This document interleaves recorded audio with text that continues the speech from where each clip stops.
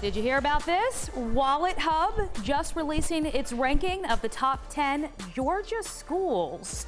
Georgia Tech is head of the class with Emory and UGA rounding up the top three. It is one of the top stories on the 11 Alive Facebook page right now. And we're hearing from some of you excited folks.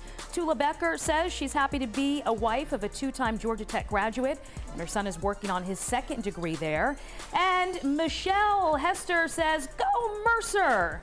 Let us know your thoughts on the list and what you love most about Georgia schools. Use the hashtag Morning Rush ATL. I'm throwing a flag right now. Why? Where is Professor McNeil and the KSU Owls? You know what I'm saying? Did you not see it on the list? It's not on the I was reading, so I wasn't able to read That's the not a full real list. Not on the list. Not on the list. Not a real Oh. Not on the list. Huh. That's how students get their wings around here, you know? Kennesaw State University. The Kennesaw State There you go. All right. We'll have to add them.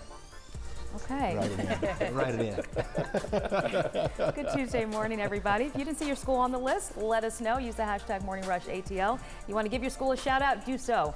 Do uh, that as well. Was Morehouse on the list? I don't think I said Morehouse on the list. We're going to take another look. Yeah, We're going to take another yeah. look. Let's get into your rush block, shall we, with your weather.